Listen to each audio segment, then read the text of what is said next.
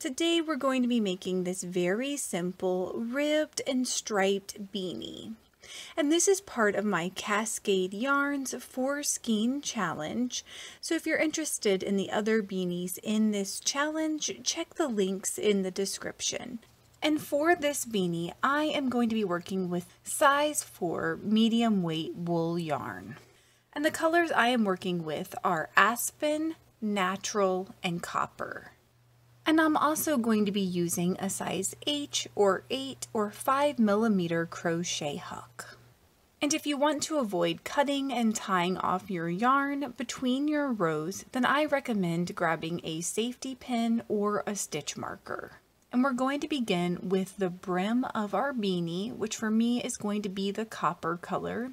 And we're going to begin by attaching the yarn to our crochet hook using a slip knot and then we want to chain 21.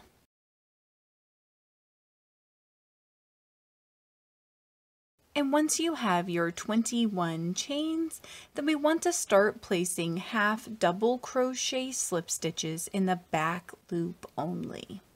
So we're going to begin by skipping our turning chain and we want to yarn over and then insert our crochet hook in the back loop only of our second chain and the back loop is just the furthest loop from you when you're crocheting.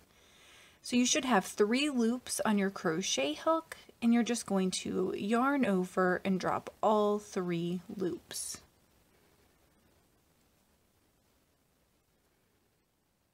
From here, we're just going to place one half double crochet slip stitch in each stitch going down our row for a total of 20 half double crochet slip stitches. And all of these will be in the back loop only. And at the end of your row, you're going to chain one and then turn your work and again, we want to skip our turning chain and in the back loop only of each stitch in our row, we want to place a half double crochet slip stitch. So again, at the end of this row, you should have a total of 20 half double crochet slip stitches in the back loop only. And when you get to the end of your row, you're just going to chain one and turn your work again. And from here, we're just going to continue to repeat our last row of placing one half double crochet slip stitch in each stitch in our row, going all the way down until we've built the body of our brim. And I crocheted this brim to roughly 18 inches. And once you've gotten your brim to your desired length, go ahead and fold it in half. And I want you to make sure that your crochet hook loop is on the opposite side of your starting tail. So now we're just going to secure our short edges together. So the first thing you want to do is make sure you've placed a chain stitch at the end of your last row. Then we're going to insert our crochet hook up underneath our last full stitch skipping that turning chain. And then in our first row, we want to insert our crochet hook up underneath this very last loop. And remember, we did work in the back loop only, so you're only going to have one loop to work in on this side. From here, we're going to yarn over and drop all of the loops on our crochet hook for a slip stitch. And we're just going to repeat this pattern, placing our slip stitches in these corresponding loops going all the way up our brim. So when you get done, you should have a total of 20 slip stitches. And once you're done securing your edges, it should look something like this. So now we want to fold our brim in half lengthwise. And we're going to fold this up to hide that seam that we just created. So again, folding it up like this. And from here, we're going to cut and tie off our yarn. And don't forget to check the links in the description to see what I did with the rest of this yarn.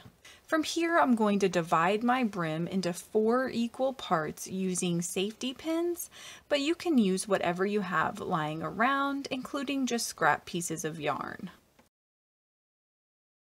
From here, grab your next color of yarn and we are going to attach it to our crochet hook using a slip knot. So basically for this row, we're going to be placing double crochet stitches that join our two edges together. And so we don't have any traditional stitches to work in, so we're just going to have to work in the available loops at the top of our brim here. So working right in a set of loops right here near the top, I'm going to insert my crochet hook in both sides of my brim and I'm going to yarn over and pull through all of those loops and then I'm going to chain two just like this. And this chain two is going to count as our first double crochet. So from here we're just going to place our double crochet stitches in the available loops along the edge of our brim and we want to try to get 20 double crochets in each of our four sections. And so you're just going to try to place these stitches as evenly as you can, going all the way around your row. And when you get to the end of your row, your beanie should look something like this. And before we secure up our yarn, I want to go ahead and hide these three tails. And all I'm going to do is just draw them to the inside of my brim here. So just between the two layers of the brim should hide them nicely. And from here, we're going to skip our chain two and then place a slip stitch in the top of our first double crochet. And the pattern for this row is just going to be to place back post stitches in each stitch in our row, starting with our current double crochet. So I'll show you how to do that. We're going to begin by yarning over and then we're going to insert our crochet hook in the gap between our chain two and our first double crochet but we want to insert it from behind our project like this. So we just want to insert it between that gap and then we're going to reinsert our crochet hook in the gap between our first and second double crochet like this. So now you can turn your beanie over like this and we're going to yarn over and pull up through the post and we should have three loops on our crochet hook so we're going to yarn over and drop two loops at a time until we complete our stitch. So now we're just going to repeat that process in each of our double crochet stitches. So I'm going to show you that one more time. So we're going to yarn over and then inserting our crochet hook from behind, we want to insert it between our first and second double crochet and then reinsert it between our second and our third. So we're capturing the second double crochet in our crochet hook.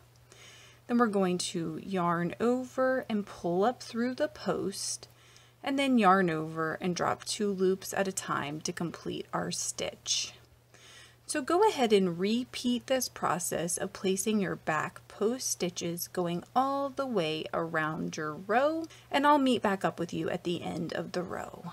And when you get to the end of your row, I want you to place a back post stitch around your starting chain two stitch from the previous row.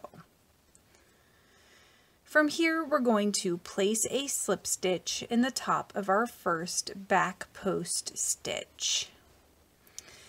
Now we're going to remove our crochet hook from our loop and place a safety pin in this loop. And this just saves your loop for later so that you don't have to worry about cutting and tying off your yarn you shouldn't have to worry about losing that loop and you can just pull on your safety pin to loosen it back up. Now we're going to attach our next color to our crochet hook using a slip knot. Now we're going to place our crochet hook in the same exact stitch where we just placed our slip stitch. And we're going to yarn over and pull up through all of the loops on our crochet hook. And then we're going to chain two. And for this next row, we're going to place one double crochet in each stitch in our row, starting with our next stitch over. And you do have the option of crocheting over your tail during this row if you would like to. So to do that, just line your tail up with your stitches and crochet over it like it is part of your stitch. When you get to the end of your row, you should have a total of 79 double crochets in your chain two. And when you get to the end of your row, make sure you haven't accidentally worked in your slip stitch. And make sure you also have moved your working yarn as well as your loop to the back of your project before we seal off this row. So we're going to skip our chain two and then place a slip stitch in the top of our first double crochet. And for our next row, we're going to dive right into placing those back post stitches, starting with this current stitch where we just placed our slip stitch. So go ahead and place one back post stitch in each stitch in the row and including that chain two at the end of your row and you should have a total of 80 back post stitches. And at the end of your row, your pattern should look something like this. And we're going to place a slip stitch in the top of our first back post stitch and then we're going to switch out our crochet hook and our safety pin.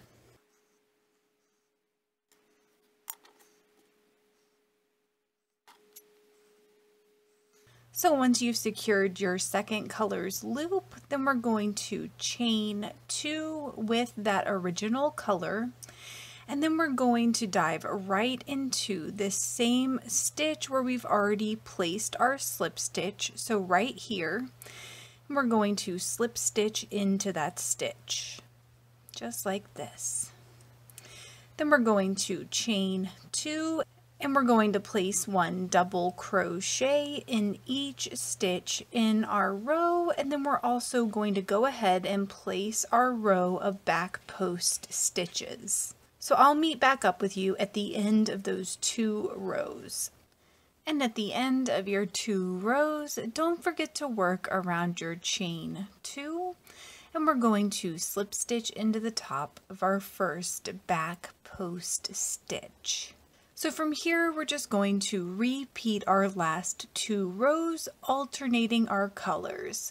So to do that, you're just going to change out your crochet hook and your safety pin again.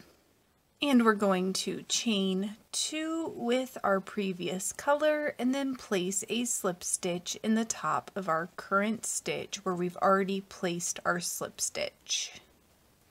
I went ahead and crocheted seven sections of my two rows of alternating colors. And I've already switched out my crochet hook and my safety pin, and so we're going to begin to place our decreasing rows. So we're going to start with a chain two and a slip stitch in the same stitch where we've already placed our slip stitch, just like we've been doing for the entire pattern and we're going to chain two and that's going to count as our first double crochet. So we want to place one double crochet in our next five stitches for a total of six double crochets. And then we're going to double crochet together our seventh and our eighth stitch and once you have your first six stitches, then yarn over and insert your crochet hook in your seventh stitch and yarn over and pull up through.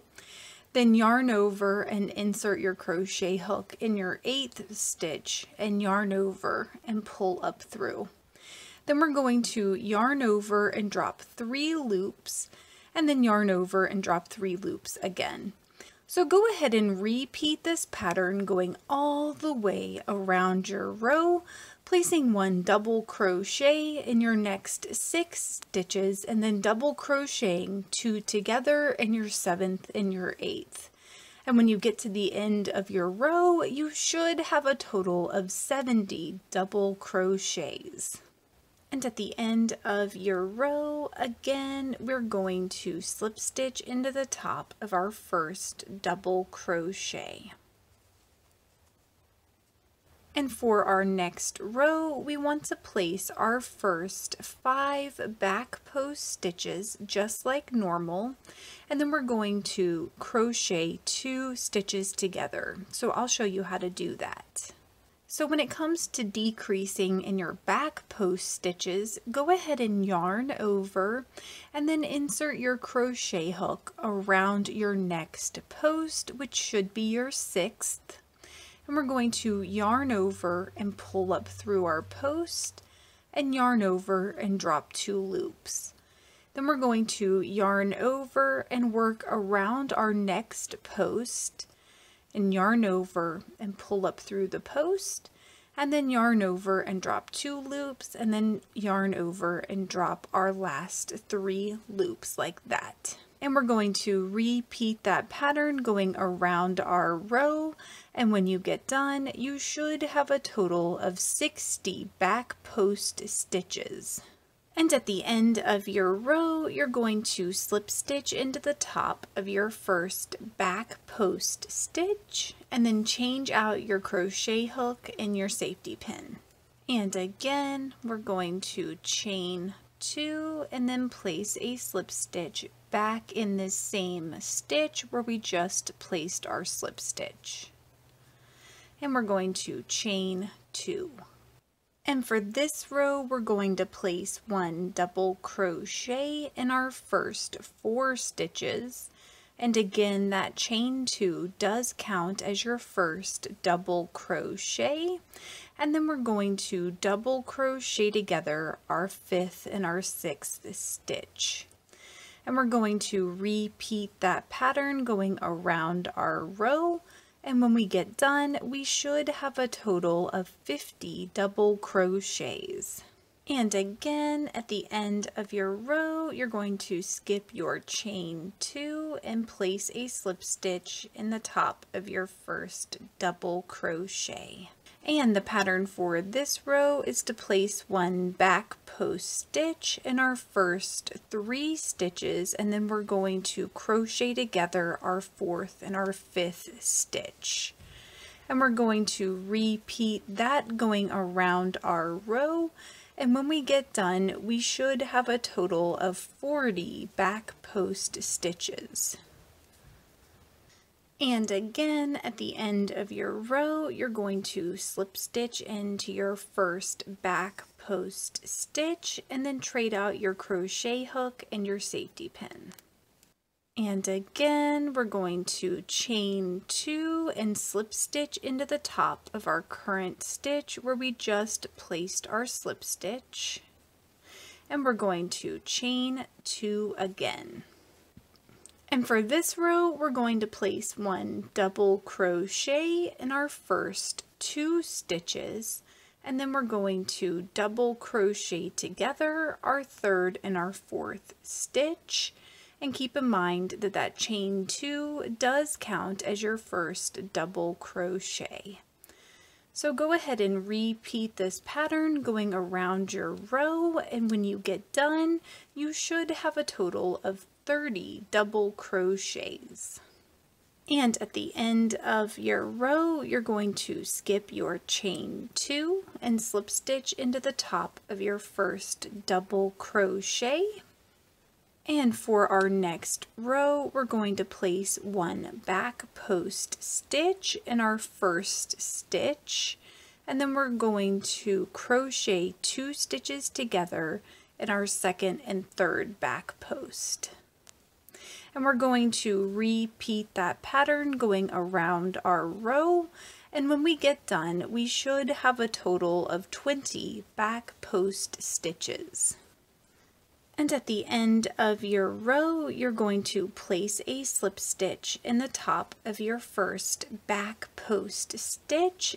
And once you've joined at the end of your row, then we're going to cut and tie off our yarn. Now we're going to go ahead and grab our other color and pull it up like we've been doing. And we want to chain two and place our slip stitch in our current stitch where we've already worked. And if you would like, you have the option of crocheting over your tail in this row by just lining it up with your stitches. From here, we're going to chain two and double crochet together each stitch in our row, going all the way around for a total of 10 double crochets. And at the end of your row, you're going to skip your chain two and place a slip stitch in the top of your first double crochet. And for our very last row, we're just going to place those joining back post stitches going all the way around our row for a total of five back post stitches. So now the hole at the top of our beanie is very, very small. So what we want to do is just place a slip stitch in one of the stitches opposite of our crochet hook, like right here. And you can continue to place slip stitches if you would like. From here, we're going to cut and tie off our yarn. And I'm going to draw my tail to the inside of the beanie. And this tail can make an excellent anchor for a pom-pom, so if you're attaching a pom-pom, don't hide your tail, but if you aren't attaching a pom-pom, then you can go ahead and hide this. Thank you so much for working with me today, and I hope you have a wonderful, awesome day. And don't forget to check out the other beanies in this series.